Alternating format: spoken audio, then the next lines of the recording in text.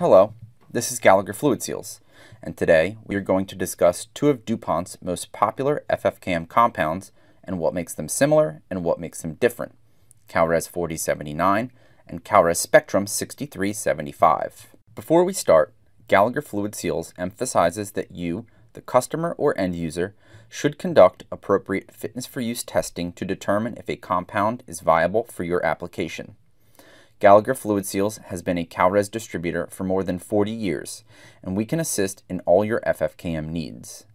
Released in the 80s, Kalrez 4079 is among the most popular Kalrez compounds. 4079 is a general purpose compound which has low compression set properties and is used in O-rings, diaphragms, seals, and other parts for the chemical processing and aircraft industries. The Kalrez Spectrum family of products was originally launched in 1999 with the introduction of Kalrez Spectrum 6375, which is designed to give outstanding performance in the widest possible range of chemicals and temperatures.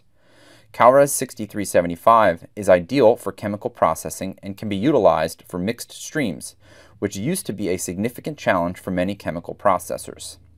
Both Kalrez 4079 and 6375 are carbon black filled products with excellent chemical resistance properties, but they differ in a few key areas. While both have excellent heat resistance, Kalrez 4079 can withstand maximum service temperatures of 600 degrees Fahrenheit, which is higher than the maximum service temperature of compound 6375 at 527 degrees Fahrenheit.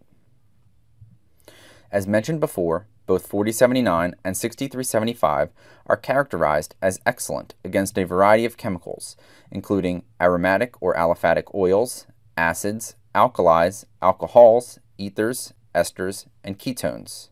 However, 6375 outperforms 4079 when it comes to amines, ethylene oxide, and steam and hot water.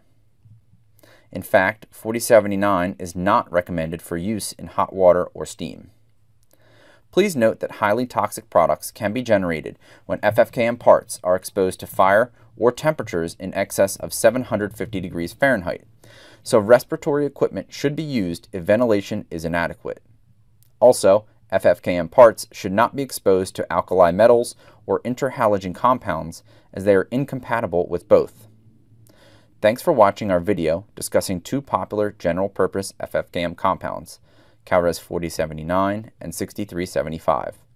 For technical guidance, Gallagher has degreed mechanical engineers on staff that can assist with your FFKM application questions. Kalrez 4079 and 6375 stock can be purchased on our website at www.gallagherseals.com.